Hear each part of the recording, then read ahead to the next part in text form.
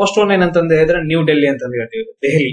So ಯಾವ ನದಿಯ ದಡದಲ್ಲಿ ಐತೆ ಅಂತ ಹೇಳಿದ್ರೆ ನಾವು ನೋಡ್ರಿ, ಇಲ್ಲಿ ದೆಹಲಿ ಇಲ್ಲಿ ಬರುತ್ತೆ? ಸೊ ಈ ಪ್ರದೇಶದಲ್ಲಿ ದೆಹಲಿ ಬರುತ್ತೆ. ದೆಹಲಿಯನ್ನ ನಾವೇನಂತ ಹೇಳ್ತೀವಿ? ಭಾರತದ ರಾಜಧಾನಿ ಅಂತಂದು ಹೇಳ್ತೀವಿ. ಇದು ಯಾವ್ದ್ರ ಮೇಲೆ ಇದೆ ಅಂತ ಹೇಳಿದ್ರೆ ಸೊ ಯಮುನಾ ನದಿಯ ದಡದಲ್ಲಿ ಐತೆ. ಯಾವ ನದಿ ದಡದಲ್ಲಿ? ಯಮುನಾ ನದಿ. ನೋಡ್ರಿ, ಯಮುನಾ ನದಿ ಎಲ್ಲಿ ಹುಟ್ಟುತ್ತೆ ಅಂತ ಹೇಳಿದ್ರೆ ಯಮುನೋತ್ರಿ ಎಲ್ಲಿ ಹುಟ್ಟುತ್ತೆ? ಅದನ್ನು ಕೇಳ್ತಾರೆ. ಸೊ ನದಿಯ ಉಗಮ ಸ್ಥಾನನು ಕೇಳ್ಬಹುದು ಸೊ ಎಲ್ಲಿ ಹುಟ್ಟುತ್ತ? ಯಮುನಾ ನದಿ ಯಮನೋತ್ರಿ ಎಲ್ಲಿ ಹುಟ್ಟುತ್ತ? ತುಂಬಾ ಇಂಪಾರ್ಟೆಂಟ್ ಆಗತ್ತ, ಯಮನೋತ್ರಿ. ಸೊ ಅದೇ ತರ ನೋಡ್ರಿ ತುಂಬಾ ಇಂಪಾರ್ಟೆಂಟ್ ಆಗುತ್ತೆ, ಯಮುನೋತ್ರಿ. ಸೊ ಅದು ಹೋಗಿ ಏನಂತಂದ್ ಹೇಳಿದ್ರೆ ಗಂಗಾ ನದಿಯನ್ನ ಹೋಗಿ ಸೇರುತ್ತೆ ಸೊ ಅದನ್ನು ಕೂಡ ಏನಂತಂದ್ ಬರ್ಕೊಡ್ರಿ.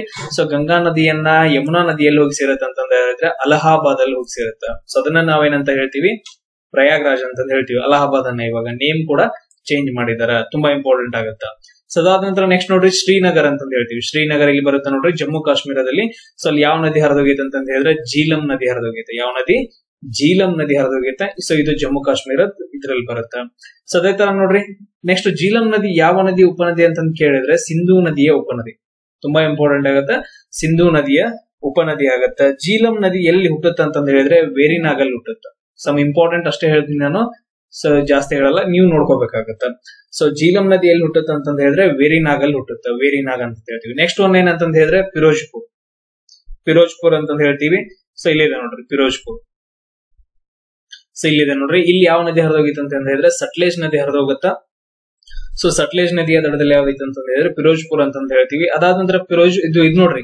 ಸಟ್ಲೇಜ್ ನದಿ ಎಲ್ಲಿ ಹೋಗಿ ಸೇರುತ್ತೆ ಅಂತ ಹೇಳಿದ್ರೆ ಇದು ಕೂಡ ಸಿಂಧು ನದಿಯನ್ನ ಸೇರುತ್ತಾ. ಸಿಂಧು ನದಿ ಎಲ್ಲಿ ಹೋಗಿ ಸೇರುತ್ತೆ ಅಂತ ಹೇಳಿದ್ರೆ ಅರಬ್ಬಿ ಸಮುದ್ರವನ್ನ ಸೇರುತ್ತೆ. ಇಷ್ಟು ಬೇಸಿಕ್ ಪಾಯಿಂಟ್ಸ್ ಗಳನ್ನ ನೀವು ನೋಡ್ಕೋಬೇಕು. ಇದು ಪಂಜಾಬ್ ಅಲ್ಲಿ ಬರುತ್ತೆ.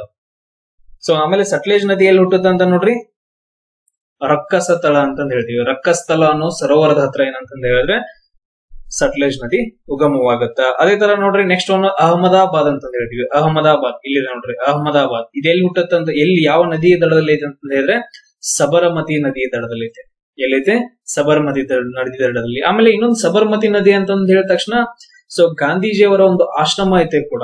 ಸಬರಮತಿ ಆಶ್ರಮ ಅಂತಂದ್ ಹೇಳ್ತೀವಿ, ಗಾಂಧೀಜಿಯವರ ಆಶ್ರಮ ಅದು ಕೂಡ ಈ ನದಿಯ ದಡದಲ್ಲಿ ಐತೆ.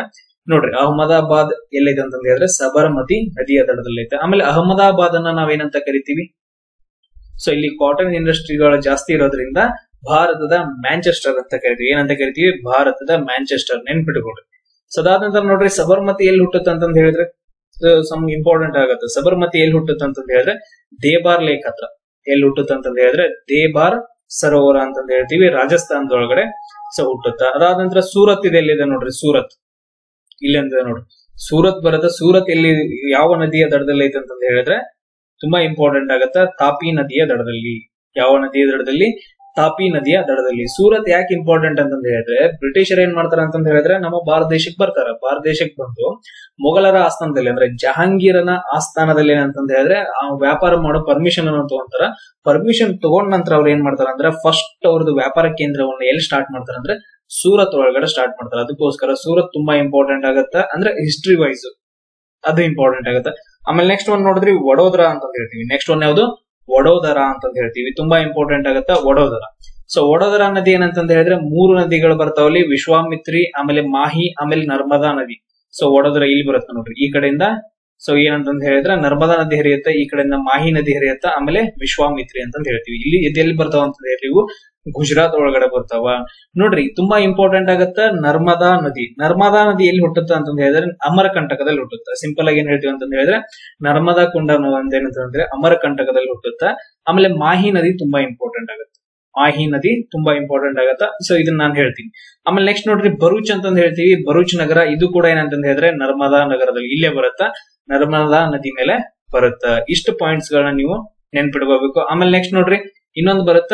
ಸೊ ಇಲ್ಲಿ ಜಬಲ್ಪುರ್ ಅಂತ ಇದೆ ನೋಡ್ರಿ. ಜಬಲ್ಪುರ್ ಅನ್ನೋದು ಬರುತ್ತೆ. ಜಬಲ್ಪುರ್ ಯಾಕೆ ಇಂಪಾರ್ಟೆಂಟ್ ಅಂತಂದ್ ಹೇಳಿದ್ರೆ, ಇದು ಕೇಂದ್ರ ಬಿಂದು ಅಂತಂತ ಹೇಳ್ತೀವಿ. ಇದೇನಂತಂದ್ ಹೇಳಿದ್ರೆ, ಭಾರತದ ಕೇಂದ್ರ ಬಿಂದು ಅಂತಂದ್ ಹೇಳ್ತೀವಿ. ಜಬಲ್ ಭೌಗೋಳಿಕ ಕೇಂದ್ರ ಅಂತಂದ್ ಹೇಳ್ತೀವಿ. ತುಂಬಾ ಇಂಪಾರ್ಟೆಂಟ್ ಭೌಗೋಳಿಕ ಕೇಂದ್ರ. ಭಾರತದ ಭೌಗೋಳಿಕ ಕೇಂದ್ರ ಯಾವುದು ಅಂತ ಕೇಳಿದ್ರೆ ಜಬಲ್ಪುರ್ ಅಂತ ಹೇಳ್ತೀವಿ. ಆಮೇಲೆ ನೆಕ್ಸ್ಟ್ ನೋಡ್ರಿ, ಮಾಹಿ ಅಂತಂದ್ ಹೇಳ್ತೀವಿ. ಇಲ್ಲಿ ನೋಡ್ರಿ, ನಮ್ಮ ಭಾರತದಲ್ಲಿ ಈ ತರ ಏನಂತಂದ್ ಹೇಳಿದ್ರೆ ಇಪ್ಪತ್ ಮೂರುವರೆ ಡಿಗ್ರಿ. ಸೊ ಇಪ್ಪತ್ ಮೂರುವರೆ ಡಿಗ್ರಿ ಏನಂತಂದ್ ಹೇಳಿದ್ರೆ ಒಂದು ಅಕ್ಷಾಂಶ ಆದ ಗೊತ್ತಾ ಈ ಅಕ್ಷಾಂಶವನ್ನ ಎರಡು ಬಾರಿ ಕತ್ತರಿಸುವ ನದಿ ಯಾವ್ದಪ್ಪ ಅಂತಂದ್ ಹೇಳಿದ್ರೆ ಮಾಹಿ ನದಿ ಅಂತ ಹೇಳ್ತೀವಿ. ಮಾಹಿ ನದಿ ತುಂಬಾ ಇಂಪಾರ್ಟೆಂಟ್ ಆಗತ್ತ. ಸೊ ಇದನ್ನ ನೆನ್ಪಿಟ್ಕೊಡ್ರಿ ಇಪ್ಪತ್ ಮೂರುವರೆ ಡಿಗ್ರಿ ಕರ್ಕಾಟಕ ಸಂಕ್ರಾಂತಿ ವೃತ್ತವನ್ನ ಎರಡು ಸಾರಿ ಹಾದು ಹೋಗುವ ಅಥವಾ ಕತ್ತರಿಸುವ ನದಿ ಯಾವ್ದಪ್ಪ ಅಂತ ಹೇಳಿದ್ರೆ ಮಾಹಿ ನದಿ ಅಂತ ಹೇಳ್ತೀವಿ. ಇಷ್ಟು ಪಾಯಿಂಟ್ಸ್ ಗಳನ್ನ ನೀವು ಇದರಲ್ಲಿ ನೆನ್ಪಿಡ್ಕೋಬೇಕಾಗತ್ತ ಅದಾದ ನಂತರ ನೆಕ್ಸ್ಟ್ ನೋಡ್ರಿ, ಕೋಟಾ ಅನ್ನೋದು ಬರುತ್ತಾ? ಕೋಟಾ ಇಲ್ಲಿದೆ ನೋಡ್ರಿ. ಸೊ ಇಲ್ಲೊಂದ್ ಏನಂತ ಹೇಳಿದ್ರೆ ಡ್ಯಾಮ್ ಅನ್ನ ಕಟ್ತಾರೆ. ಚಂಬಲ್ ನದಿಗೆ ತುಂಬಾ ಇಂಪಾರ್ಟೆಂಟ್ ಆಗುತ್ತೆ. ಕೋಟಾ ಸಮೀಪ ರಾಜಸ್ಥಾನದಲ್ಲಿ. ಸೊ ಅದಾದ ನಂತರ ಚಂಬಲ್ ನದಿಗೆ ಬರುತ್ತೆ ಇದು. ಯಾವ ನದಿಗೆ? ಚಂಬಲ್ ನದಿ. ಚಂಬಲ್ ನದಿ ಯಾವ ನದಿಯ ಉಪನದಿ ಅಂತಂದ್ ಹೇಳ್ತೀವಿ? ಯಮುನಾ ನದಿಯ ಉಪನದಿ ಅಂತಂದ್ ಹೇಳ್ತೀವಿ. ಇದು ಎಲ್ಲಿ ಹುಟ್ಟುತ್ತೆ ಅಂದ್ರೆ ಮಧ್ಯಪ್ರದೇಶದಲ್ಲಿ ಹುಟ್ಟುತ್ತೆ. ಅಮರ್ಕಂಡ್. ಅಂದ್ರೆ ವಿಂಧ್ಯನ್ ರೇಜು ಅಮರ್ಕಂಟಕ್ ರೇಂಜ್ ಅಲ್ಲಿ ಏನಂತ ಹೇಳಿದ್ರೆ ಇದು ಹುಟ್ಟುತ್ತೆ ಆಮೇಲೆ ರಿಷಿಕೇಶ್ ಬರುತ್ತೆ. ರಿಷಿಕೇಶ್ ತುಂಬಾ ಇಂಪಾರ್ಟೆಂಟ್ ಆಗುತ್ತೆ. ರಿಷಿಕೇಶ್ ಈ ಪ್ರದೇಶದಲ್ಲಿ ಬರುತ್ತಾ? ಸೊ ಇದು ಗಂಗಾ ನದಿಯ ಮೇಲೈತ. ಗಂಗಾ ನದಿಯ ಮೇಲೈತ. ತುಂಬಾ ಇಂಪಾರ್ಟೆಂಟ್ ಆಗುತ್ತೆ. ಗಂಗಾ ನದಿಯ ಮೇಲೈತ. ಸೊ ನೆಕ್ಸ್ಟ್ ನೋಡ್ರಿ. ಗಂಗಾ ನದಿ ಎಲ್ಲಿ ಹುಟ್ಟುತ್ತೆ ಅಂತ ಹೇಳಿದ್ರೆ ಗಂಗೋತ್ರಿಯಲ್ಲಿ ಹುಟ್ಟುತ್ತೆ ಅಂತ ಹೇಳ್ತೀವಿ. ಸೊ ಗಂಗೋತ್ರಿಯಲ್ಲಿ ನಾರ್ಮಲ್ ಆಗಿ ಏನಂತ ಹೇಳಿದ್ರೆ ಗಂಗಾ ನದಿ ಹುಟ್ಟುತ್ತೆ ಅಂತಂದ ಹೇಳ್ತೀವಿ. ಬಟ್ ಅದ್ರ ನೆಕ್ಸ್ಟ್ ನಾನು ನಿಮ್ಗೊಂದು ಪಾಯಿಂಟ್ ಹೇಳ್ತೀನಿ. ಅವಾಗ ನಿಮ್ಗೆ ಗೊತ್ತಾಗತ್ತೆ ಎಲ್ಲಿ ಹುಟ್ಟುತ್ತೆ ಅಂತ ಹೇಳಿ. ನೆಕ್ಸ್ಟ್ ನೋಡ್ರಿ ಹರಿದ್ವಾರ ಅಂತಂದ್ ಹೇಳ್ತೀವಿ. ಹರಿದ್ವಾರ. ಸೊ ನೆಕ್ಸ್ಟ್ ನೋಡ್ರಿ ಹರಿದ್ವಾರ ಎಲ್ಲಿದೆ ಇದ್ರ ಕೆಳಗಡೆ ಐತೆ ಋಷಿಕೇಶ್ ಕೆಳಗಡೆ. ಇದು ಕೂಡ ಗಂಗಾ ನದಿಯ ಮೇಲೈತೆ ಆಮೇಲೆ ನೆಕ್ಸ್ಟ್ ನೋಡ್ರಿ ಬದ್ರಿನಾಥ್ ಅಂತಂದ್ ಹೇಳ್ತೀನಿ. ಬದ್ರಿನಾಥ್. ಇಲ್ಲಿದೆ ನೋಡ್ರಿ ಬದ್ರಿನಾಥ್. ಸೊ ಇದು ಉತ್ತರಾಖಂಡ್ ಅಲ್ಲಿ ಬರುತ್ತೆ? ಇವೆಲ್ಲ ಮೂರು. ಸೊ ಬದ್ರಿನಾಥ್ ಏನಂತಂದ ಹೇಳಿದ್ರೆ ಅಲಕನಂದ ನದಿ ಮೇಲೆ ಯಾವ ನದಿ ಮೇಲೆ ಅಲಕನಂದಾ ನದಿ ಮೇಲೆ. ಇಲ್ಲಿಂದ ನಾನು ಹೇಳ್ತೀನಿ ನೋಡ್ರಿ. ಸೊ ಒಂದ್ ಕಡೆಯಿಂದ ಏನಂತಂದ ಹೇಳಿದ್ರೆ ಭಗೀರಥಿ ನದಿ ಹುಟ್ಟುತ್ತೆ. ಇದು ಏನಂತಂದ ಹೇಳಿದ್ರೆ ಗಂಗೋತ್ರಿಯಿಂದ ಭಗೀರಥಿ ನದಿ ಹುಟ್ಟುತ್ತ. ಸೊ ಅದಾದ ನಂತರ ನೆಕ್ಸ್ಟ್ ಇನ್ನೊಂದ್ ಕಡೆಯಿಂದ ಏನಂತ ಅಂತ ಹೇಳಿದ್ರೆ ಬದ್ರಿನಾಥ್ ಇಂದ ಬದ್ರಿನಾಥ್ ಇಂದ ಅಲಕನಂದ ನದಿ ಬರುತ್ತೆ ಅಲಕನಂದ ಹುಟ್ಟಿ ಬರುತ್ತೆ. ಇವೆರಡೂ ಸೇರಿ ಎಲ್ಲಿ ಸೇರ್ತಾವ ಅಂತಂದು ಹೇಳಿದ್ರೆ ದೇವಪ್ರಯಾಗಲ್ಲಿ ಸೇರ್ತಾವ. ಎಲ್ಲಿ ಸೇರ್ತಾವ? ದೇವಪ್ರಯಾಗಲ್ಲಿ. ಸೊ ಇಲ್ಲಿಂದ ಮುಂದೆ ಇದನ್ನ ಏನಂತ ಕರೀತಾರ ಅಂದ್ರೆ ಗಂಗಾ ನದಿ ಅಂತ ಕರೀತಾರ. ಮೊದಲು ಗಂಗಾ ನದಿ ಅಂತ ಕರೆಯಲ್ಲ. ದೇವಪ್ರಯಾಗಿಂದ ಏನಂತಂದ ಹೇಳಿದ್ರೆ ಗಂಗಾ ನದಿ ಅಂತ ಕರೀತಾರೆ. ಬಟ್ ಅದು ಅದಕ್ಕಿಂತ ಮುಂಚೆ ಏನಂತಂದ ಹೇಳಿದ್ರೆ ಅವ್ರದ್ದು ಎರಡು ಉಪನದಿಗಳು ಬಂದ್ ಸೇರ್ತಾವ. ಯಾವ ಅಂತಂದ ಹೇಳಿದ್ರೆ, ಗಂಗೋತ್ರಿಯಿಂದ ಭಗೀರಥಿ ನದಿ.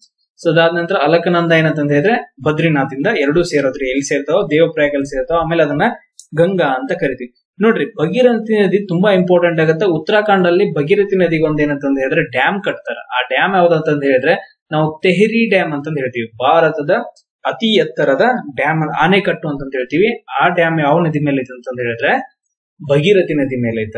ಸೊ ನೆನ್ಪಿಟ್ಕೊಡ್ರಿ ಅದು ಇಲ್ಲಿ ಅಂತಂದ ಹೇಳಿದ್ರೆ ಉತ್ತರಾಖಂಡ್ ಅಲ್ಲಿ ಬರುತ್ತೆ. ಇಷ್ಟು ಪಾಯಿಂಟ್ಸ್ ನೀವು ಇದ್ರಲ್ಲಿ ನೆನ್ಪಿಟ್ಕೋಬೇಕು. ಆಮೇಲೆ ಅಲಹಾಬಾದ್ ಯಾವ ನದಿ ದಡದಲ್ಲಿ ಐತೆ? ಆಗ್ಲೇ ಹೇಳ್ದೆ. ಸೊ ಇಲ್ಲಿದೆ ನೋಡ್ರಿ, ಅಲಹಾಬಾದ್. ಸೊ ಇಲ್ಲಿ ಏನಂತ ಹೇಳಿದ್ರೆ ಯಮುನಾ ನದಿ ಬರುತ್ತಾ, ಆಮೇಲೆ ಗಂಗಾ ನದಿ ಎರಡು ಬಂದ್ ಸೇರ್ತಾವ.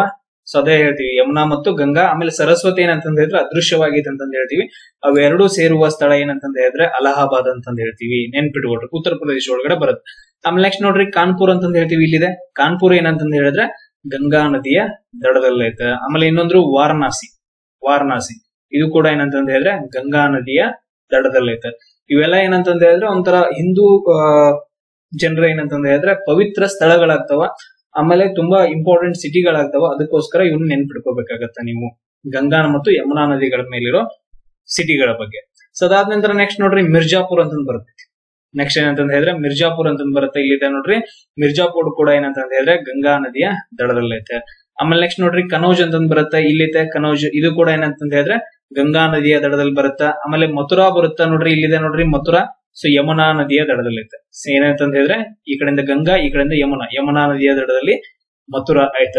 ಆಮೇಲೆ ಆಗ್ರಾ ಅಂತ ಬರುತ್ತೆ. ನೋಡ್ರಿ ಇಲ್ಲಿದೆ ನೋಡ್ರಿ, ಆಗ್ರಾ. ಸೊ ಆಗ್ರಾ ಕೂಡ ಯಾವ ನದಿ ದಡದಲ್ಲೈತೆ ಯಮುನಾ ನದಿಯ ದಡದಲ್ಲೈತೆ ನೋಡ್ರಿ, ಗಂಗಾ ನದಿಯಲ್ಲಿ ಹುಟ್ಟುತ್ತ ಅಂತ ಹೇಳಿದ್ವಿ. ಸಿಂಪಲ್ ಆಗಿ ಗಂಗೋತ್ರಿಯಲ್ಲಿ ಹುಟ್ಟುತ್ತ ಅಂತ ಹೇಳಿದ್ವಿ. ಯಮುನಾ ನದಿಯಲ್ಲಿ ಹುಟ್ಟುತ್ತೆ.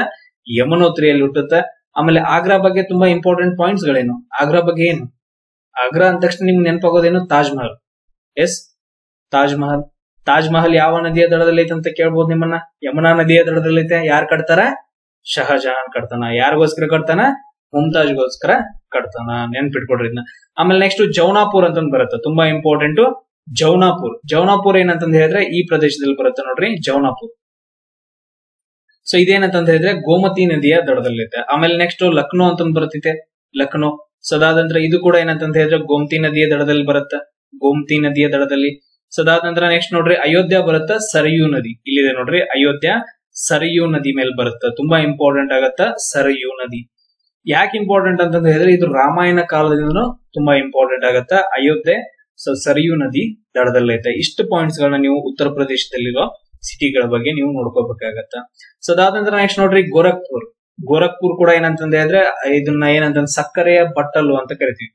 ಸೊ ಭಾರತದ ಸಕ್ಕರೆಯ ಬಟ್ಟಲು ಅಂತಂದ ಹೇಳಿ ಗೋರಖ್ಪುರ್ ಅನ್ನ ಕರಿತೀವಿ. ಅತಿ ಹೆಚ್ಚು ಸಕ್ಕರೆಯನ್ನು ಉತ್ಪಾದನೆ ಮಾಡ್ತಾರೆ ಅದಕ್ಕೋಸ್ಕರ ಸೊ ಇದು ಯಾವ ನದಿಯ ದಡದಲ್ಲಿ ಐತೆ ಅಂತ ಹೇಳಿ ಇದು ನಿಮ್ಮ ಕ್ವಶನ್ ಅದಾದ ನಂತರ ನೆಕ್ಸ್ಟ್ ನೋಡ್ರಿ, ಬಾಗಲ್ಪುರ್ ಅಂತಂದ್ ಬರುತ್ತಾ? ಬಾಗಲ್ಪುರ್ ಇಲ್ಲಿದೆ ನೋಡ್ರಿ.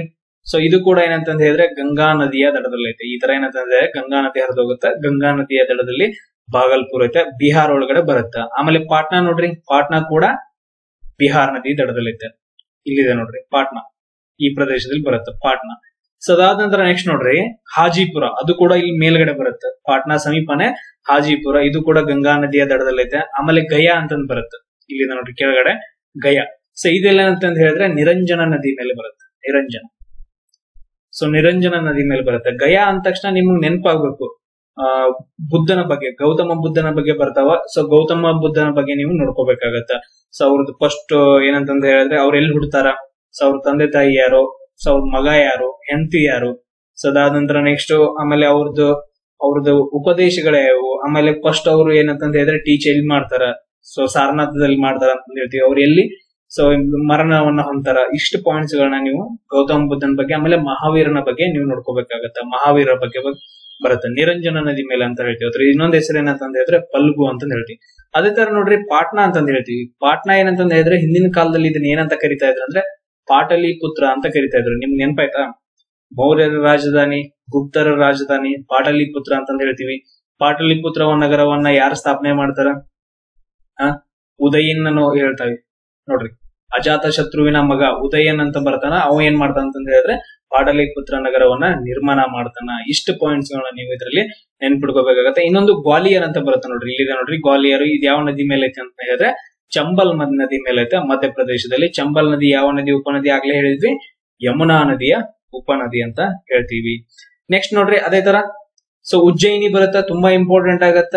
ಹಿಂದೂ ಪವಿತ್ರ ಸ್ಥಳ ಅಂತಂದ್ ಹೇಳ್ತೀವಿ. ಇದು ನದಿ ಮೇಲೆ ಬರುತ್ತೆ ಅಂತ ಹೇಳಿದ್ರೆ ಶಿಪ್ರಾ ನದಿ ಮೇಲೆ ಅಥವಾ ಕ್ಷಿಪ್ರಾ ನದಿ ಅಂತಂದ್ ಹೇಳ್ತೀವಿ. ಮಧ್ಯಪ್ರದೇಶದಲ್ಲಿ ಹೇಳ್ತೀವಿ. ಸೊ ಅದಾದ ನಂತರ ನೆಕ್ಸ್ಟ್ ಜಬಲ್ಪುರ್ ಅಂತಂದ್ ಹೇಳ್ತೀವಿ. ಜಬಲ್ಪುರ್ ಸೊ ಇದ್ಯಾವ ನದಿ ಮೇಲೆ ಬರುತ್ತೆ ಅಂತ ಹೇಳಿದ್ರೆ ಈ ಕಡೆಯಿಂದ ಹಿಂಗರಿಯುತ್ತ ನರ್ಮದಾ ನದಿ ಮೇಲೆ ಬರುತ್ತ. ನರ್ಮದಾ ನದಿ. ಆಮೇಲೆ ಕೋಲ್ಕತ್ತಾ ನೋಡ್ರಿ. ಇಲ್ಲಿದೆ ನೋಡ್ರಿ ಕೋಲ್ಕತ್ತಾ. ಸೊ ಈ ತರ ಏನಂತ ಹೇಳಿದ್ರೆ ಗಂಗಾ ನದಿ ಹರಿಯುತ್ತಾ, ಗಂಗಾ ನದಿ ಹರಿದು ಅದ್ರದ್ದು ಒಂದು ಡಿಸ್ಟ್ರಿಬ್ಯೂಟರಿ ಅಂತ ಹೇಳ್ತೀವಿ. ಗಂಗಾ ನದಿಯಿಂದ ಒಡೆದು ಒಂದು ಕವಲ್ ಏನಂತ ಹೇಳಿದ್ರೆ ಕೆಳಗಡೆ ಬರುತ್ತೆ, ಅದನ್ನ ನಾವೇನಂತ ಕರಿತೀವಿ? ಹೂಗ್ಲಿ ನದಿ ಅಂತ ಕರಿತೀವಿ. ಆ ನದಿ ಮೇಲ್ಗಡೆ ಏನಂತಂದ್ರೆ ಸೊ ಒಂದು ಬಂದರು ಐತೆ, ಬಂದರು ನಗರ ಅಂತ ಹೇಳ್ತೀವಿ, ಕೋಲ್ಕತ್ತಾ. ಕೋಲ್ಕತ್ತಾ. ಸೊ ಇದನ್ನ ಪೂರ್ವದ ಹೆಬ್ಬಾಗಿಲು ಅಂತಾನು ಕರಿತೀವಿ, ಕೋಲ್ಕತ್ತಾವನ್ನ ನೆನ್ಪಿಟ್ಕೊಟ್ರು. ಸೊ ಕೋಲ್ಕತ್ತಾ ಯಾವ ನದಿ ದಡದಲ್ಲೈತೆ? ಹೂಗ್ಲಿ ನದಿಯ ದಡದಲ್ಲೈತೆ. ಆಮೇಲೆ ನೆಕ್ಸ್ಟ್ ಇದು ವೆಸ್ಟ್ ಬೆಂಗಾಲ್ ಎಲ್ಲೈತೆ ಸೊ ಆಮೇಲೆ ನೆಕ್ಸ್ಟ್ ನೋಡ್ರಿ ಬಂಕಿ ಅಂತಂದ್ ಬರುತ್ತೆ. ಇಲ್ಲಿದೆ ನೋಡ್ರಿ ಬಂಕಿ. ಸೊ ಇದು ಯಾವ ನದಿ ಅಂತ ದಡದಲ್ಲೈತೆ ಅಂತಂದ ಹೇಳಿದ್ರೆ ಮಹಾನದಿ ದಡದಲ್ಲೈತೆ ಆಮೇಲೆ ಕಟಕ್ ಕೂಡ ಏನಂತಂದ ಹೇಳಿದ್ರೆ ಮಹಾನದಿ ದಡದಲ್ಲೈತೆ ಕಟಕ್ ಅಂತ ಹೇಳಿದ ತಕ್ಷಣ ರೈಸ್ ರಿಸರ್ಚ್ ಸೆಂಟರ್ ಅಂತ ಬರುತ್ತೆ ಇನ್ಸ್ಟಿಟ್ಯೂಟ್ ಕಟಕ್ ಅಲ್ಲಿ ಬರುತ್ತೆ, ಅದನ್ನ ನೆನ್ಪಿಟ್ಕೊಡ್ರಿ ಅದಾದ ನಂತರ ನೆಕ್ಸ್ಟ್ ಸಂಬಲ್ಪುರ್ ಅಂತ ಬರ್ತೈತಿ. ಇಲ್ಲಿದೆ ನೋಡ್ರಿ ಸಂಬಲ್ಪುರ್, ಈ ತರ ಮಹಾನದಿ ಹರಿಯುತ್ತ. ಸೊ ಅದು ಕೂಡ ಒಡಿಸಾದಲ್ಲೈತೆ ಆಮೇಲೆ ಮಹಾನದಿ ಬಗ್ಗೆ ಇನ್ನೊಂದು ತುಂಬಾ ಇಂಪಾರ್ಟೆಂಟ್ ಆಗುತ್ತಾ. ಹಿರಾಕುಡ್ ಡ್ಯಾಮ್ ಅಂತ ಬರುತ್ತೆ. ಹಿರಾಕುಡ್ ಆಣೆಕಟ್ಟು ಈ ಆಣೆಕಟ್ಟು ಏನಂತಂದ ಹೇಳಿದ್ರೆ ಭಾರತದ ಅತಿ ಉದ್ದವಾದ ಆಣೆಕಟ್ಟು ಅಂತಂದ್ ಹೇಳ್ತೀವಿ. ಅತಿ ಉದ್ದವಾದ ಆಣೆಕಟ್ಟು. ಸೊ ಹೀರಾಕುಡ್ ಡ್ಯಾಮ್ ಅಂತಂದ್ ಹೇಳ್ತೀವಿ. ಅದು ಯಾವ ನದಿಯ ಮೇಲೆ ಕಟ್ಟಿದಾರೆ ಅಂತಂದ್ ಹೇಳಿದ್ರೆ ಎಸ್ ಒಡಿಸಾದಲ್ಲಿ ಮಹಾನದಿಯ ಮೇಲೆ ಕಟ್ಟಿದಾರೆ. ಇಷ್ಟು ಪಾಯಿಂಟ್ಸ್ ನೀವು ಇದರಲ್ಲಿ ನೆನ್ಪಿಟ್ಕೋಬೇಕಾಗತ್ತ? ನೆಕ್ಸ್ಟ್ ಒಂದ್ ನೋಡ್ರಿ. ರೂರ್ಕೆಲಾ ಅಂತಂದ್ ಬರುತ್ತಾ? ಕೆಲ ಅಲ್ಲಿ ಏನಂತಂದ್ ಹೇಳಿದ್ರೆ, ಐ ಐ ಟಿ ಐತೆ. ಅದಾದ ನಂತರ ನೆಕ್ಸ್ಟ್ ಇಲ್ಲಿ ನೋಡ್ರಿ. ರೂರ್ಕೆಲಾದಲ್ಲಿ ಬ್ರಾಹ್ಮಿಣಿ ನದಿ ಹರಿಯುತ್ತೆ ಈ ಕಡೆ ಏನಂತಂದ್ ಹೇಳಿದ್ರೆ ಬ್ರಾಹ್ಮಿನಿ ನದಿ ಹರಿಯತ್ತ ಬ್ರಾಹ್ಮಿಣಿ ನದಿ ಮೇಲೆ ಏನಂತ ಹೇಳಿದ್ರೆ ರೂರ್ಕೆಲಾ ಐತೆ ಆಮೇಲೆ ಬ್ರಹ್ಮ ನೆಕ್ಸ್ಟ್ ನೋಡ್ರಿ, ಬ್ರಹ್ಮಪುರ ಅಂತಂದ್ ಬರುತ್ತೆ. ಇಲ್ಲಿ ಕೆಳಗಡೆ ಇದೆ ನೋಡ್ರಿ, ಬ್ರಹ್ಮಪುರ. ಸೊ ಇಲ್ಲಿ ಯಾವ ನದಿ ಹರಿಯುತ್ತೆ ಅಂತ ಹೇಳಿದ್ರೆ ಋಷಿಕುಲ್ಯ ಅಂತ ಹೇಳಿ. ಋಷಿಕುಲ್ಯ. ತುಂಬಾ ಇಂಪಾರ್ಟೆಂಟ್ ಆಗತ್ತ. ಋಷಿಕುಲ್ಯ ನದಿ. ಸೊ ಒಡಿಸಾ ಒಳಗಡೆ. ಆಮೇಲೆ ಛತ್ರಪುರ ಅಂತಂದ್ ಬರುತ್ತಾ. ಅದು ಕೂಡ ಅಲ್ಲೇ. ಒರಿಸ್ಸಾದ ಮೇನ್ ಸಿಟಿ ಆಗುತ್ತಾವ ಇವು. ಸೊ ಋಷಿಕುಲ್ಯ. ಸೊ ಎರಡು ಏನಂತ ಹೇಳಿದ್ರೆ ಋಷಿಕುಲ್ಯ ನದಿಗಳ ಮೇಲೆ ಬರ್ತಾವ ಛತ್ರಪುರ ಮತ್ತು ಬ್ರಹ್ಮಪುರ. ಆಮೇಲೆ ರೂರ್ಕೆಲೈಲೆ ಅಂತಂದ್ರೆ ಬ್ರಾಹ್ಮಣಿ ನದಿ ಮೇಲೆ. ನೆಕ್ಸ್ಟ್ ನೋಡ್ರಿ ಹೈದರಾಬಾದ್. ತುಂಬಾ ಇಂಪಾರ್ಟೆಂಟ್ ಆಗತ್ತ. ಹೈದರಾಬಾದ್ ಮೂಸಿ ನದಿ ದಡದಲ್ಲಿ ಬರುತ್ತೆ. ಕೃಷ್ಣಾ ನದಿಯ ಉಪನದಿಯಾದ ಮೂಸಿ ನದಿ ಏನಂತ ಹೇಳಿದ್ರೆ ಸೊ ಮೂಸಿ ನದಿ ದಡದಲ್ಲಿ ಏನಂತ ಹೇಳಿದ್ರೆ ಹೈದರಾಬಾದ್ ಸಿಟಿ ಬರುತ್ತೆ. ಆಮೇಲೆ ನಿಜಾಮಾಬಾದ್ ಅಂತ ಬರ್ತೈತಿ ನೋಡಿ ಸೊ ಇಲ್ಲಿ ಮೇಲ್ಗಡೆ ನಿಜಾಮಾಬಾದ್ ಬರುತ್ತೆ. ಇದು ಗೋದಾವರಿ ನದಿಯ ದಡದಲ್ಲಿ ಐತೆ. ಗೋದಾವರಿ. ನೋಡ್ರಿ, ಗೋದಾವರಿ ನದಿಯಲ್ಲಿ ಹುಟ್ಟುತ್ತ? ತ್ರಯಂಬಕೇಶ್ವರದಲ್ಲಿ ಹುಟ್ಟುತ್ತೆ. ಗೋದಾವರಿಯಲ್ಲಿ ಹುಟ್ಟುತ್ತ ಹೇಳಿದ್ರೆ ತ್ರಯಂಬಕೇಶ್ವರದಲ್ಲಿ ಹುಟ್ಟುತ್ತ. ಅದೇ ತರ ಕೃಷ್ಣಾ ನದಿಯಲ್ಲಿ ಹುಟ್ಟುತ್ತ ಅಂತ ಹೇಳಿದ್ರೆ ಮಹಾಬಲೇಶ್ವರದಲ್ಲಿ ಹುಟ್ಟುತ್ತೆ ಎಲ್ಲಿ ಹುಟ್ಟುತ್ತ ಮಹಾಬಲೇಶ್ವರ. ಎರಡು ಮಹಾರಾಷ್ಟ್ರದಲ್ಲಿ ಇದಾವ ನೆನ್ಪಿಟ್ಕೊಡ್ರಿ ಆಮೇಲೆ ಎರಡು ಕೃಷ್ಣ ಮತ್ತು ಗೋದಾವರಿ ನದಿಗಳು ಎಲ್ಲಿ ಹೋಗಿ ಸೇರ್ತಾವ? ಬಂಗಾಳ ಕೊಲ್ಲಿ ಸೇರ್ತಾವ. ಇಲ್ಲಿದೆ ನೋಡ್ರಿ ಬಂಗಾಳ ಕೊಲ್ಲಿಗೆ ಹೋಗಿ ಸೇರ್ತಾವ. ನೆಕ್ಸ್ಟ್ ನೋಡ್ರಿ, ರಾಜಮಂಡ್ರಿ ಅಂತಂದ್ ಬರುತ್ತಾ? ರಾಜಮಂಡ್ರಿ, ಇಲ್ಲಿದೆ ನೋಡ್ರಿ, ರಾಜಮಂಡ್ರಿ. ಸೊ ಈ ತರ ಏನಂತ ಹೇಳಿದ್ರೆ, ಗೋದಾವರಿ ನದಿ ಹಿರಿಯತ್ತ? ಗೋದಾವರಿಯ ನದಿಯ ದಡದಲ್ಲಿ ಏನಂತ ಹೇಳಿದ್ರೆ, ರಾಜಮಂಡ್ರಿ ಐತ. ಆಮೇಲೆ ಕರ್ನೂಲ್ ಅಂತಂದ್ ಬರ್ದಿತ್ತು ನೋಡ್ರಿ. ಕರ್ನೂಲ್. ಸೊ ಈ ತರ ಏನಂತ ಹೇಳಿದ್ರೆ ಕೃಷ್ಣಾ ನದಿ ಹರಿಯುತ್ತೆ. ಈ ಕಡೆಯಿಂದ ತುಂಗಭದ್ರಾ ನದಿ ಬಂದ ಏನಂತ ಹೇಳಿದ್ರೆ ಸೊ ಕರ್ನೂಲ್ ಸಮೀಪ ಬಂದ್ ಸೇರ್ತಾವ. ನಾವು ತುಂಗಭದ್ರಾ ನದಿ ಅಂತ ಹೇಳ್ತೀವಿ. ಆಮೇಲೆ ಇನ್ನೊಂದು ತುಂಗಭದ್ರಾ ಮತ್ತು ಕೃಷ್ಣಾ ನದಿಯ ಸಂಗಮ ಸ್ಥಳದಲ್ಲಿ ಕರ್ನೂಲ್ ಐತೆ ಅಂತ ಹೇಳ್ತೀವಿ. ಅದು ಕರೆಕ್ಟ್ ಆನ್ಸರ್ ಆಮೇಲೆ ನೆಕ್ಸ್ಟ್ ನೋಡ್ರಿ ವಿಜಯವಾಡ. ಸೊ ಈ ತರ ಏನಂತ ಹೇಳಿದ್ರೆ ವಿಜಯವಾಡ ಸೊ ಈ ತರ ನದಿ ಹರಿಯುತ್ತ, ವಿಜಯವಾಡದಲ್ಲಿ ಏನಂತ ಹೇಳಿದ್ರೆ ಕೃಷ್ಣಾ ನದಿಯ ದೊಡ್ಡದಾಗ ಐತೆ. ಆಮೇಲೆ ನೆಲ್ಲೂರು ಅಂತ ಬರುತ್ತಾ ನೋಡ್ರಿ? ನೆಲ್ಲೂರು, ಪೆನ್ನಾರ್ ನದಿ ಮೇಲೆ ಬರುತ್ತಾ? ಸೊ ನೆನ್ಪಿಟ್ಕೊಡ್ರಿ ತುಂಬಾ ಇಂಪಾರ್ಟೆಂಟ್ ಆಮೇಲೆ ನೆಕ್ಸ್ಟ್ ನೋಡ್ರಿ ಬೆಂಗಳೂರು ವೃಷಭಾವತಿ ನದಿಯ ದಡದಲ್ಲೈತೆ ವೃಷಭಾವತಿ ಸೊ ಎಷ್ಟೋ ಜನ ಗೊತ್ತಿರಲ್ಲ, ನೆನ್ಪಿಟ್ಕೊಳ್ರಿ ವೃಷಭಾವತಿಯ ನದಿ ದಡದಲ್ಲಿ ಏನಂತ ಹೇಳಿದ್ರೆ ಬೆಂಗಳೂರು ಐತೆ. ಆಮೇಲೆ ಮಂಗಳೂರು ನೋಡ್ರಿ ಸೊ ನೇತ್ರಾವತಿ ಮತ್ತು ಗುರುಪುರ್ ನದಿ ದಡದಲ್ಲಿ ಐತೆ. ನೇತ್ರಾವತಿ ಈ ತರ ಬರುತ್ತೆ, ಗುರುಪುರ್ ಈ ತರ ಬರುತ್ತೆ. ಇವೆರಡೂ ಸೇರುವ ಸ್ಥಳದಲ್ಲಿ ಏನಂತ ಹೇಳಿದ್ರೆ ಮಂಗಳೂರು ನಗರ ಐತೆ. ಇಷ್ಟು ಪಾಯಿಂಟ್ಸ್ ಗಳನ್ನ ನೀವು ಇದರಲ್ಲಿ ನೆನ್ಪಿಟ್ಕೋಬೇಕಾಗತ್ತೆ. ಸೊ ಅದೇ ತರ ನೆಕ್ಸ್ಟ್ ನೋಡ್ರಿ, ಶಿವಮೊಗ್ಗ. ಶಿವಮೊಗ್ಗ ಏನಂತ ಹೇಳಿದ್ರೆ ತುಂಗಾ ನದಿಯ ದಡದಲ್ಲಿ ಐತೆ. ಸೇನ್ ಏನಂತ ಹೇಳಿದ್ರೆ ಕುದುರೆಮುಖ ನ್ಯಾಷನಲ್ ಪಾರ್ಕ್ಸ್ ಅಂದ್ರೆ ಚಿಕ್ಕಮಗಳೂರಿಂದ ಹುಟ್ಟತಾವ ಸೊ ತುಂಗಭದ್ರಾ ಎರಡು ಬಂದ್ ಸೇರ್ತಾವ. ತುಂಗಾ ಮತ್ತು ಭದ್ರಾ ನದಿಗಳು ಎರಡು ಬಂದ್ ಏನಂತ ಸೇರ್ತಾವ ಅಂತ ಹೇಳಿದ್ರೆ ಕೂಡ್ಲಿ ಎಂಬಲ್ಲಿ ಸೇರ್ತಾವ. ಕೂಡ್ಲಿ ಎಂಬಲ್ಲಿ ಏನಂತ ಹೇಳಿದ್ರೆ ತುಂಗಾ ಮತ್ತು ಭದ್ರಾಗಳು ಸೇರಿ ತುಂಗಭದ್ರಾ ನದಿಯಾಗಿ ಹರಿಯುತ್ತ. ನೆಕ್ಸ್ಟ್ ನೋಡ್ರಿ, ಭದ್ರಾವತಿ ಭದ್ರಾ ನದಿಯ ದಡದಲ್ಲೈತೆ ಆಮೇಲೆ ನೋಡ್ರಿ, ಹೊಸಪೇಟೆ. ನೆಕ್ಸ್ಟ್ ಏನಂತ ಹೇಳಿದ್ರೆ ತುಂಗಾ ಮತ್ತು ಭದ್ರಾ ಎರಡು ಎಲ್ಲಿ ಸೇರ್ತಾವ? ಕೂಡ್ಲಿ ಎಲ್ಲಿ ಸೇರ್ತಾವ ಅಂತ ಹೇಳಿದ್ವಿ. ನೆಕ್ಸ್ಟ್ ಏನಂತ ಹೇಳಿದ್ರೆ ತುಂಗಭದ್ರಾ ನದಿಯಾಗಿ ಆಗಿರುತ್ತೆ ಸೊ ಅದೇ ಏನಂತ ಹೇಳಿದ್ರೆ ಎಲ್ಲೈತೆ ಅಂದ್ರೆ ಹೊಸಪೇಟೆ, ತುಂಗಭದ್ರಾ ನದಿಯ ದಡದಲ್ಲಿದೆ. ಅಲ್ಲಿ ಒಂದು ಡ್ಯಾಮ್ ಕಟ್ತಾರ, ಹೊಸಪೇಟೆ ಡ್ಯಾಮ್ ಅಂತ ಹೇಳ್ತೀವಿ. ಹೊಸಪೇಟೆ ಡ್ಯಾಮ್ ಇದನ್ನ ನೆನ್ಪಿಟ್ಕೊಡ್ರಿ ಇದನ್ನ ಪಂಪಸಾಗರ ಕೂಡ ಅಂತಾನು ಹೇಳ್ತೀವಿ. ಪಂಪಸಾಗರ ಡ್ಯಾಮ್ ಅಂತಾನು ಹೇಳ್ತೀವಿ. ನೆಕ್ಸ್ಟ್ ನೋಡ್ರಿ. ಇಲ್ಲಿದೆ ನೋಡ್ರಿ. ನೆಕ್ಸ್ಟ್ ಸಮ್ ಇಂಪಾರ್ಟೆಂಟ್ ಅಂತ ಹೇಳಿದ್ರೆ ಕಾರವಾರ ಅಂತ ಬರುತ್ತೆ. ನೆಕ್ಸ್ಟ್ ಏನಂತ ಹೇಳಿದ್ರೆ ಕಾರವಾರ. ಕಾರವಾರ ಯಾವ ನದಿಯ ದಡದಲ್ಲಿ ಐತೆ ಅಂತ ಹೇಳಿದ್ರೆ ಕಾಳಿ ನದಿಯ ದಡದಲ್ಲಿ ಐತೆ ಸೊ ಈ ಕಾಳಿ ನದಿಗೆ ಏನಂತ ಹೇಳಿದ್ರೆ ಸೂಪರ್ ಡ್ಯಾಮ್ ಕಟ್ತಾರ. ಅದು ಕರ್ನಾಟಕದ ಅತಿ ಎತ್ತರದ ಡ್ಯಾಮ್ ಅಂತ ಹೇಳ್ತೀವಿ.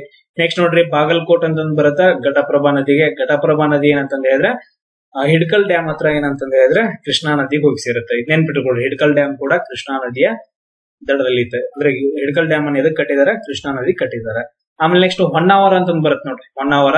ಸೊ ಇದು ಯಾವ ನದಿಗೆ ಐತೆ ಹೊನ್ನಾವರ ಶರಾವತಿ ನದಿಗೆ ಐತೆ ಶರಾವತಿ ನದಿಗೆ ಏನಂತಂದ್ ಹೇಳಿದ್ರೆ ಸೊ ಒಂದು ಡ್ಯಾಮ್ ಅನ್ನ ಕಟ್ತಾರ, ಲಿಂಗನ ಮಕ್ಕಿ ಡ್ಯಾಮ್ ಅಂತ ಹೇಳ್ತೀವಿ. ಲಿಂಗನ ಮಕ್ಕಿ ಡ್ಯಾಮ್ ಅದಾದ ನಂತರ ಶರಾವತಿ ನದಿಗೆ ಒಂದು ಫಾಲ್ಸ್ ಐತೆ. ಜಲಪಾತ ಐತೆ ಯಾವ ಜಲಪಾತ? ಜೋಗ ಜಲಪಾತ ಅಂತ ಹೇಳ್ತೀವಿ. ಯಾವ ಜಲಪಾತ? ಜೋಗ ಜಲಪಾತ. ಇಷ್ಟು ಪಾಯಿಂಟ್ಸ್ ಗಳನ್ನ ನೀವು ಇದರಲ್ಲಿ ನೆನ್ಪಿಡ್ಕೋಬೇಕಾಗತ್ತ ಸೊ ಅದೇ ತರ ನೋಡ್ರಿ, ನಾಶಿಕ್ ಅಂತಂದ್ ಬರುತ್ತಾ, ಗೋದಾವರಿ ನದಿಯ ದಡದಲ್ಲಿ ಐತೆ. ಗೋದಾವರಿ ಈ ತರ ಹರಿದು ಹೋಗುತ್ತಾ. ಸೊ ಗೋದಾವರಿ ನದಿಯ ದಡದಲ್ಲಿ ಈ ಪ್ರದೇಶದಲ್ಲಿ ಬರುತ್ತಾ ನಾಸಿಕ್ ಆಮೇಲೆ ಇಲ್ಲಿ ಏನಂತಂದ್ ಹೇಳಿದ್ರೆ ಕುಂಭಮೇಳ ನಡೆಯುತ್ತೆ. ಇಲ್ಲಿ ಕೂಡ ಏನಂತಂದ್ ಹೇಳಿದ್ರೆ ಪ್ರಯಾಗ್ರಾಜ್ ಅಲಹಾಬಾದಲ್ಲಿ ಹೆಂಗ್ ಹನ್ನೆರಡು ವರ್ಷಕ್ಕೊಮ್ಮೆ ಕುಂಭಮೇಳ ನಡೆಯುತ್ತೆ? ಸೊ ಇಲ್ಲಿ ಕೂಡ ಏನಂತಂದ್ ಹೇಳಿದ್ರೆ ಕುಂಭಮೇಳ ನಡೆಯುತ್ತೆ? ಇಷ್ಟು ಪಾಯಿಂಟ್ಸ್ ಗಳನ್ನ ನೀವು ಇದರಲ್ಲಿ ನೆನ್ಪಿಟ್ಕೋಬೇಕಾಗತ್ತ? ಸೊ ಅದೇ ತರ ನೋಡ್ರಿ ನಂದೇದ್ ಅಂತ ಬರುತ್ತೆ. ಇಲ್ಲೇ ಮುಂದ್ಗಡೆ ಇದೆ ನೋಡ್ರಿ ನಂದೇದ್ ಅಂತ ಹೇಳಿ ಗೋದಾವರಿ ನದಿಯ ದಡದಲ್ಲಿ ಬರುತ್ತೆ. ಆಮೇಲೆ ಸಾಂಗ್ಲಿ ನೋಡ್ರಿ, ತುಂಬಾ ಇಂಪಾರ್ಟೆಂಟ್ ಆಗತ್ತವ ಸಾಂಗ್ಲಿ. ಕೃಷ್ಣಾ ನದಿಯ ದಡದಲ್ಲೈತೆ ಯಾವ ನದಿ ದಡದಲ್ಲಿ? ಕೃಷ್ಣಾ ನದಿಯ ಉಪನದಿ ಅಂತ ಹೇಳ್ತೀವಿ. ಕೃಷ್ಣಾ ನದಿಯ ದಡದಲ್ಲೈತೆ ಆಮೇಲೆ ಕರದ್ ಅಂತಂದ್ ಬರುತ್ತ? ಇಲ್ಲಿದೆ ನೋಡ್ರಿ, ಕರದ್ ಅಂತಂದ ಹೇಳಿ. ಸೊ ಕೃಷ್ಣ ಮತ್ತು ಕೊಯ್ನಾ ನದಿಗಳು ಬಂದ್ ಸೇರ್ತಾವ ಇಲ್ಲಿ ಸೊ ಮೇಲ್ಗಡೆಯಿಂದ ಕೃಷ್ಣ, ಕೆಳಗಡೆಯಿಂದ ಕೊಯ್ನಾ ಬಂದ್ ಸೇರುತ್ತೆ. ಸೊ ಅದೇನಂತಂದ್ರೆ ಹೇಳಿದ್ರೆ ಈ ಪ್ರದೇಶದಲ್ಲಿ ಕರದ್ ಎಂಬಲ್ಲಿ ಬಂದ್ ಸೇರ್ತಾವ. ಆಮೇಲೆ ಮೂಲ ಮತ್ತು ಮೂತ ಅಂತಂದ್ ಹೇಳ್ತೀವಿ ಇಲ್ಲಿ. ಸೊ ಮೂಲ ಮತ್ತು ಮೂತ ನದಿಗಳೇನಂತಂದ ಹೇಳಿದ್ರೆ ಪುಣೆ ಒಳಗಡೆ ಹರಿತಾವ. ಸೊ ಪುನಾ ಸಿಟಿ ಯಾವ ನದಿಯ ದಡದಲ್ಲಿ ಐತೆ ಅಂತ ಹೇಳ್ತೀವಿ, ಮೂಲ ಅಂತ ಹೇಳ್ತೀವಿ. ಇವನ್ ಮೂತ ಅಂತ ಹೇಳ್ತೀವಿ. ಮೂಲ, ಮೂತ ನದಿಯ ದಡದಲ್ಲಿ ಪುಣೆ. ಸೊ ಅದಾದ ನಂತರ ನೆಕ್ಸ್ಟ್ ನೋಡ್ರಿ ಕರ್ಜತ್ ಅಂತ ಹೇಳ್ತೀವಿ ಉಲ್ಲಾಸ್ ನದಿ ಮೇಲೆ. ಕರ್ಜತ್ ಅಂತ ಹೇಳ್ತೀವಿ ಈ ಪ್ರದೇಶದಲ್ಲಿ ಉಲ್ಲಾಸ್ ನದಿ ಮೇಲೆ ತುಂಬಾ ಇಂಪಾರ್ಟೆಂಟ್ ಆಗತ್ತೆ ಕರ್ಜತ್. ಸೊ ಉಲ್ಲಾಸ್ ನದಿ ಮೇಲೆ. ಇದೇನಂತಂದ್ ಹೇಳಿದ್ರೆ ಮುಂಬೈ ಸಿಟಿ ಹತ್ರ ಹರಿದು ಹೋಗುತ್ತೆ. ನೆಕ್ಸ್ಟ್ ಮಹದ್ ಅಂತ ಹೇಳ್ತೀವಿ ಸಾವಿತ್ರಿ ನದಿ. ಇಲ್ಲಿದೆ ನೋಡ್ರಿ ಮಹದ್ ಅಂತ ಹೇಳ್ತೀವಿ ಸಾವಿತ್ರಿ ನದಿಯ ದಡದಲ್ಲೈತೆ ಇವೆಲ್ಲ ಏನಂತ ಹೇಳಿದ್ರೆ ಮಹಾರಾಷ್ಟ್ರದ ಒಳಗಡೆ ಬರುವ ಪ್ರಮುಖ ಸಿಟಿಗಳಂತ ಹೇಳ್ತೀವಿ. ಫಾರ್ ಎಕ್ಸಾಂಪಲ್ ಕೊಲ್ಲಾಪುರ ಆಗಿರ್ಬೋದು ಸೊ ಅದಾದಂದ್ರೆ ನೆಕ್ಸ್ಟ್ ಪುಣೆ ಆಗಿರ್ಬೋದು, ಮುಂಬೈ ಆಗಿರ್ಬೋದು, ನಾಸಿಕ್ ಇವೆಲ್ಲ ತುಂಬಾ ಇಂಪಾರ್ಟೆಂಟ್ ಸಿಟಿಗಳಾಗ್ತವೆ ಸೊ ಇದ್ರ ಬಗ್ಗೆ ನೀವು ನೋಡ್ಕೋಬೇಕಾಗತ್ತ. ಸೊ ಈ ಒಂದು ಕೊಲ್ಲಾಪುರ ಅಂತ ಹೇಳ್ತೀವಿ ನೋಡ್ರಿ. ಕೊಲ್ಲಾಪುರ ಏನಂತಂದ್ ಬರುತ್ತಾ? ಕೊಲ್ಲಾಪುರ ಇಲ್ಲಿ ಪಂಚಗಂಗಾ ನದಿಯ ದಡದಲ್ಲೈತೆ ಇದು ಹೋಗಿ ಏನಂತಂದ್ ಹೇಳಿದ್ರೆ ಕೃಷ್ಣಾ ನದಿಯನ್ನ ಸೇರ್ತಾವ. ಇವೆಲ್ಲ ವೆಸ್ಟರ್ನ್ ಘಾಟ್ಸ್ ಅಲ್ಲಿ ಹುಟ್ಟೋದ್ರಿಂದ ಸೊ ಅದ್ರ ಬಗ್ಗೆ ಟೆನ್ಷನ್ ತಗೋಕ್ ಹೋಗ್ಬೇಡ. ಪಂಚಗಂಗಾ ನದಿ ದಡದಲ್ಲೈತೆ ಆಮೇಲೆ ಮಾಲೆಗಾಂವ್ ಅಂತಂದ್ ಬರುತ್ತಾ ಗಿರ್ನಾರ್ ರಿವರ್ ಮೇಲೆ. ಸೊ ಈ ಪ್ರದೇಶದಲ್ಲಿ ಗಿರ್ನಾರ್ ರಿವರ್ ಮೇಲೆ ಏನಂತಂದ್ ಹೇಳಿದ್ರೆ ಮಾಲೆಗಾಂವ್ ಅಂತಂದ್ ಬರುತ್ತೆ. ಆಮೇಲೆ ತಿರುಚಿರಾಪಲ್ಲಿ ಅಂತಂದ್ ಬರುತ್ತೆ. ಇಲ್ಲಿ ನೋಡ್ರಿ, ತಿರುಚಿರಾಪಲ್ಲಿ ಇದು ಕಾವೇರಿ ನದಿಯ ದಡದಲ್ಲೈತೆ. ತಿರುಚಿರಾಪಲ್ಲಿ ನೀವು ಕೇಳಿದಿರಿ ತಿರುಚಿರಾಪಲ್ಲಿ ಅಂತ ಆ, ಕಾರ್ನಾಟಿಕ್ ವಾರಗಳಂತಂದ್ ಬರ್ತಾವ. ಸೊ, ಅಲ್ಲಿ ಏನಂತಂದ್ ಹೇಳಿದ್ರೆ, ಅನ್ವರುದ್ದೀನನ್ ಮಗ ಏನಂತಂದ್ ಹೇಳಿದ್ರೆ, ಸೊ ಅಂಜ್ ಬಿಟ್ಟು ಓಡ್ಬಿಟ್ಟು ಏನಂತಂದ್ ಹೇಳಿದ್ರೆ, ಸೊ, ಚಾಂದ್ ಸಾಹೇಬ್ ಏನಂತಂದ್ ಹೇಳಿದ್ರೆ ಅಂಜ್ ಬಿಟ್ಟು ಸೊ, ಓಡ್ ಹೋಗಿರ್ತಾನ. ಎಲ್ಲಿ ಹೋಗಿ ಅಡ್ಕೊಂಡ್ ಕೂತಿರ್ತಾನ ಅಂತ ಹೇಳಿದ್ರೆ, ತಿರುಚಿರಾಪಲ್ಲಿ ಎಲ್ಲಿ ಹೋಗಿ ಅಡ್ಕೊಂಡ್ ಕೂತಿರ್ತಾನ? ಮೊಹಮ್ಮದ್ ಅಲಿ ಅಂತಂದ್ ಹೇಳಿ. ಸೊ ಅವಂದ್ ಏನಂತಂದ್ ಹೇಳಿದ್ರೆ ಸೊ ಅದಕ್ಕೋಸ್ಕರ ತುಂಬಾ ಇಂಪಾರ್ಟೆಂಟ್ ಆಗತ್ತ. ಸೊ ಈ one important city of Tamil Nadu ಅಂತಂದ್ ಹೇಳ್ತೀವಿ. ಸೊ ಇದು ಕಾವೇರಿ ನದಿಯ ದಡದಲ್ಲೈತೆ ಆಮೇಲೆ ಎರಡು ಅಂತಂದ್ ಬರುತ್ತೆ ನೋಡ್ರಿ. ತುಂಬಾ ಇಂಪಾರ್ಟೆಂಟ್ ಆಗತ್ತೆ. ಎರಡು ಸೊ ಇದು ಕೂಡ ಕಾವೇರಿ ನದಿಯ ದಡದಲ್ಲೈತೆ ಆಮೇಲೆ ಚೆನ್ನೈ ಅಂತಂದ್ ಬರುತ್ತೆ ನೋಡ್ರಿ. ಚೆನ್ನೈ ಇಲ್ಲಿದೆ ನೋಡ್ರಿ? ಸೊ ಅಡಿಯಾರ್ ಮತ್ತು ಕೋಮ್ ನದಿಗಳ ಮೇಲೆ ಐತೆ. ಅಡಿಯಾರ್ ಮತ್ತು ಕೋಮ್ ನದಿಗಳ ಮೇಲೆ. ಆಮೇಲೆ ಮಧುರೈ ನೋಡ್ರಿ. ಮಧುರೈ ಸಿಟಿ ಕಂಚಿ, ಕಾಮಾಕ್ಷಿ, ಮಧುರೈ, ಮೀನಾಕ್ಷಿ ಅಂತಂದ್ ಹೇಳ್ತೀವಿ.